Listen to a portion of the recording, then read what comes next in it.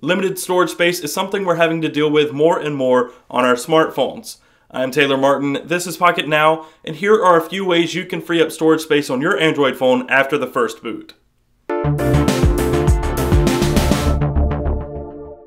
When you boot your Android device for the very first time, you are taken through a relatively simple and quick setup process. Once you get through that, the floodgates are open for personalization and customization. But over the last few years, two things have happened. The Android operating system has grown, nearly tripling in size. Custom strains of Android, such as TouchWiz and Sense, are up to five times larger than that. In fact, TouchWiz atop 4.2.2 on the Galaxy S4 was found to be 1.5 gigabytes in size, versus the 328 megabyte stock 4.2.2 image on the Nexus 4. The problem is, built-in storage has only slightly increased. Two years ago, 2 gigabytes and 4 gigabytes was all some phones had inside. Now 16 gigabytes is standard, but many manufacturers have decided to move away from expandable storage, meaning those 16 gigabytes are more important than ever. Yet manufacturers continue to add more and more bloat to their system images, making storage space a bit cramped for anyone who loves to store content apps, games, movies, music, podcasts, and pictures. Fortunately, there are some things you can do to free up space after your first boot. Many phones come with samples in the form of high res pictures and possibly a video to show off how great the display is. I'm not talking about wallpapers either, but pictures that are preloaded in the gallery application. Most of the time, these are easily removed, long press, select all, and delete.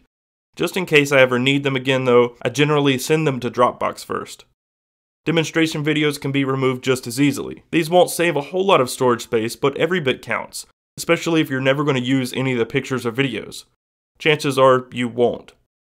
Some devices also come with documentation, how-to guides, and other information stored on PDF files.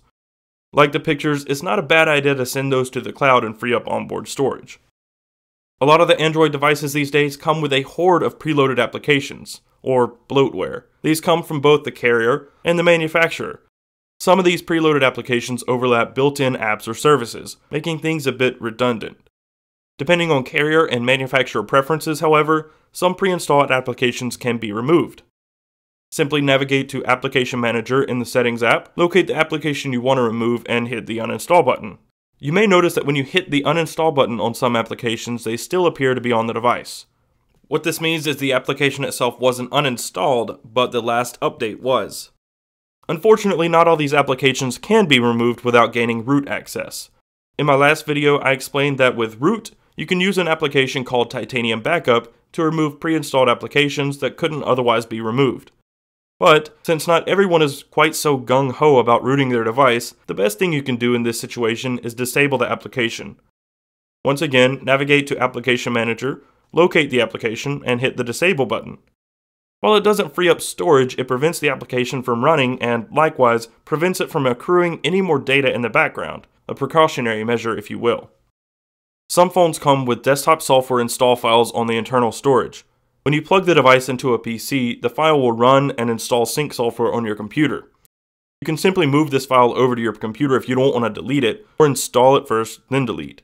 Chances are the software is available for download online, and it's probably a newer version anyway. By leaving it on your device, it's just another one of the hundreds of random, unused files taking up space. Another option to try and save space is to uncheck the Google Restore option after logging into your primary Google account. By default, assuming the manufacturer or carrier didn't disable the restore process, Google will load all the applications you had installed on your last Android device automatically. Over time, it's very likely that you acquired a handful of applications that you only used once, if ever. By disabling this, sure, you will have to download every application manually, but you can pick and choose what you have on the device. If you already let the restore process run, however, you can simply go through your applications and remove any restored apps that you don't think you'll need. There are a ton of ways you can save storage space through learning new habits. For instance, you can set up an automatic upload of all pictures on your device to a cloud account so you can free up onboard storage. Or you can simply get into the habit of deleting anything and everything as soon as you're done with it, like apps and games. Sadly, until 32 gigabytes of inbuilt storage becomes the standard, low device storage will be a constant battle we all have to fight. So that's all for now. If you liked the video, be sure to give it a thumbs up and subscribe to the channel. You can also find us on your favorite social networks, Google+, Twitter, and Facebook at Pocketnow. Or you can find me on Twitter at Casper Tech. I'm Taylor Martin, and I will see you next time.